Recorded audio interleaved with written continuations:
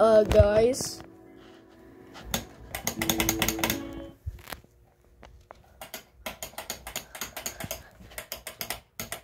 Why is it not?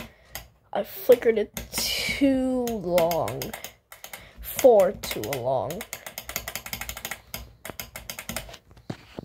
Uh.